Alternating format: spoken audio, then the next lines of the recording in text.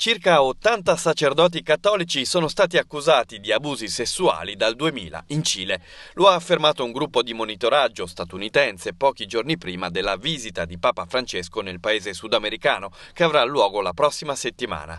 Bergoglio ha preso più volte posizioni dure contro gli abusi sessuali che hanno sconvolto negli anni la Chiesa, ma si trova di fronte a ulteriori richieste di assunzioni di responsabilità e di trasparenza.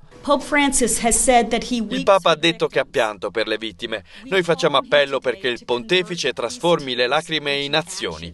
La sua visita la prossima settimana metterà alla prova l'autenticità delle sue dichiarazioni, ha spiegato Anne Barrett Doyle, co-direttrice della ONG BishopAccountability.org, che ha compilato un database di religiosi accusati pubblicamente di abusi sessuali contro i minori, usando le informazioni arrivate dai tribunali e dai media.